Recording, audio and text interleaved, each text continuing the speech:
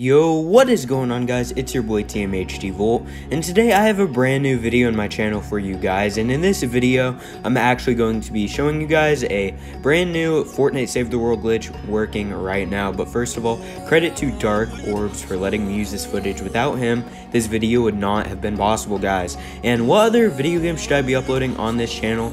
Um, I want to expand my YouTube channel into other video games other than Call of Duty, and as you can see here, this is a Fortnite Save the World glitch, and I will be showing footage. But once again, credit to Dark Orbz. I will not be talking through it, but you will be seeing his footage, how to do it. Um, without further ado, let's get right into the video. I hope you guys enjoy.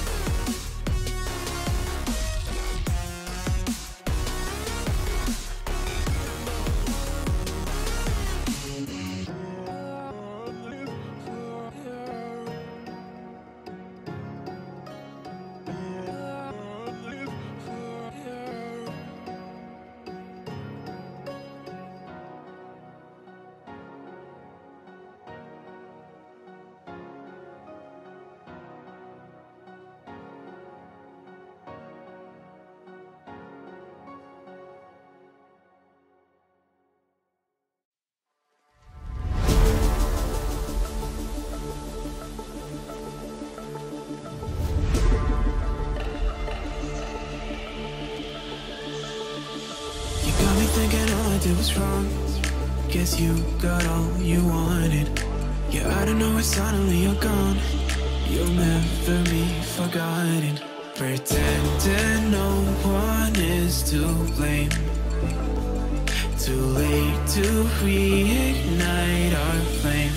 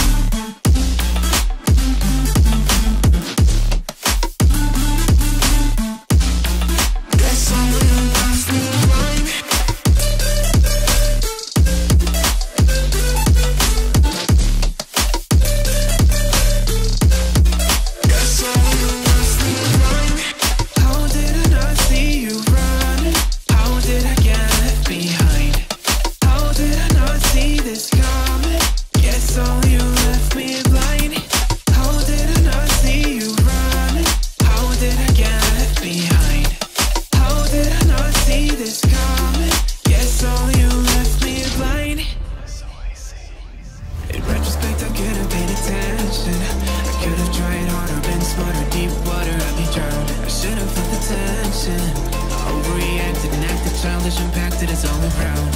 When you were pushing me away, should I try to give you space and get out of your way.